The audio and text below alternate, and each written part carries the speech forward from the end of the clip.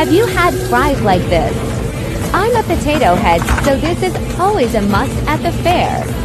Colossal fries for the win. If you're really my friend, you'll just buy me fries. Fries are life.